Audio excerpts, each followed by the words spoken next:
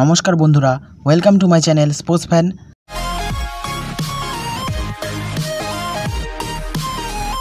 তো বন্ধুরা, আজকে নিয়ে চলে এসেছি আরও কিছু আপডেটেড নিউজ এবং আইপিএল কবে থেকে শুরু হতে পারে, সেই নিউজটাও তোমাদের সাথে শেয়ার করব।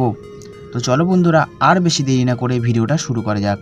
তো প্রথমেই যে আপডেটটা দেবো, সেটা হলো জামাল ভুইয়াকে নিয়ে।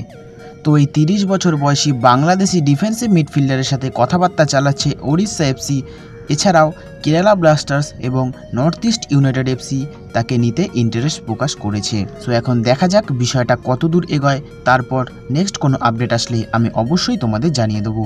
তো চলো এইবার চলে আসি আজকের পরের নিউজটা যেটা হলো ইন্ডিয়ান আন্ডার সিক্সটিন ফুটবল টিমকে নিয়ে। এই মুহূর্তে ভারতীয় ফুটবলে সকলের নজর রয়েছে যুবশক্তির উপরে। আর সেই ভবিষ্যতের কাছে আগামী challenge AFC under sixteen championship এশিয়ার এই বড় টুর্নামেন্টে হেভিওয়েট দেশের সাথে পাল্লা দেবে ভারতও।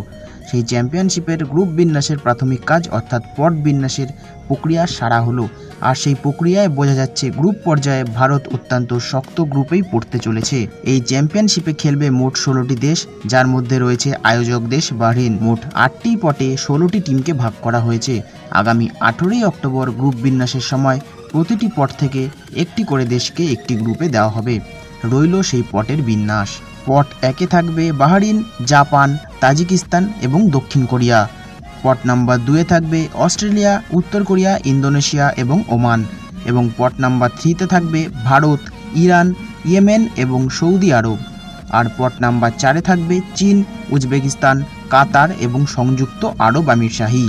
অর্থাৎ অত্যন্ত কঠিন গ্রুপের সম্মুখীন হওয়ার সম্ভাবনা রয়েছে ভারতের।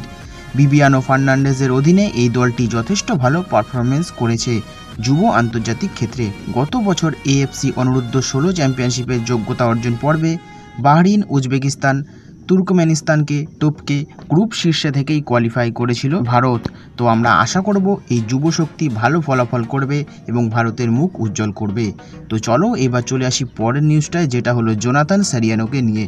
তো আমি তোমাদের কালকেই বলেছিলাম যে মুম্বাই সিটি এফসি এবং এফসি গোয়া তাকে নিতে আগ্রহ প্রকাশ করেছে এবং মুম্বাই সিটি এফসি তার সাথে কথাবার্তাও চালাচ্ছে। আর এখন যে আপডেটটা বেরিয়ে এসেছে, সেটা হলো হায়দ্রাবাদ এফসি এবং মোহনবাগান এটিকে বা এটিকে মোহনবাগান, তারাও কিন্তু তাকে দলে নেওয়ার জন্য আগ্রহ প্রকাশ করেছে আর এটা মার্কাস মার্গুলো নিজে টুইট করে জানিয়ে দিয়েছে।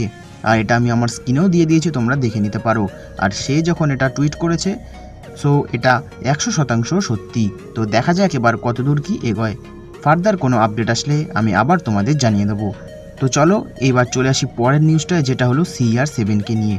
তো তোমরা হয়তো থামনেলে রোনাল্ডোর ছবি দেখে অনেকেই চমকে গেছো। তো তোমাদের বলে রাখি যে রোনাল্ডো কিন্তু ভারতে আসতে চলেছে, আর সেটা কিন্তু ফুটবল খেলার জন্য নয়।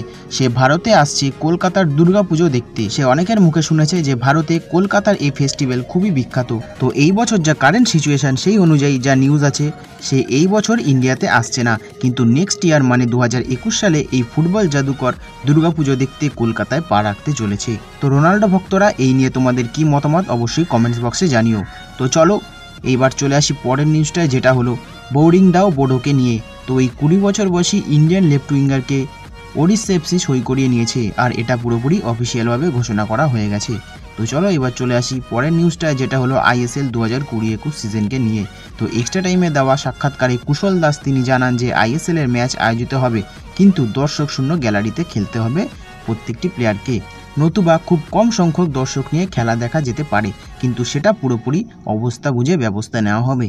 আর যদি করোনা ভাইরাস চলে যায়, তাহলে নর্মাল যেমন দর্শক হতো ষাট, পঁয়ষট্টি হাজার, সেরম দর্শক নিয়েই খেলা হবে। আর তিনি এটাও বলেছেন যে লা লিগা ইপিএল বুন্ডেস লিগা সব খেলা দর্শক ছাড়াই হচ্ছে। সো আইএসএল না হওয়ার কোনো কারণ নেই। সো আমার মতে দর্শক ছাড়া করাটাই ভালো, কারণ এত তাড়াতাড়ি করোনা ভাইরাস বিদায় নিচ্ছে না ইন্ডিয়া থেকে। সো আরও দু তিন বছর আমাদের একটু সাবধানতা অবলম্বন করে চলা উচিত। তো চলো, এবার চলে আসি পরের নিউজটায় যেটা হলো আইপিএলকে নিয়ে। তো আইপিএল নিয়েও যে আপডেটটা বেরিয়ে এসেছে, সেটা হলো আইপিএল কিন্তু স্টার্ট হতে পারে সেপ্টেম্বর কিংবা অক্টোবর থেকে। যদিও এখনও পাকাপাকিভাবে শিলমোহর পড়েনি, তবুও আইপিএল অনুষ্ঠিত করার জন্য বদ্ধপরিকর বিসিসিআই আর আইপিএলেও কিন্তু দর্শক শূন্য গ্যালারিতেই হবে এই রকমই শোনা যাচ্ছে।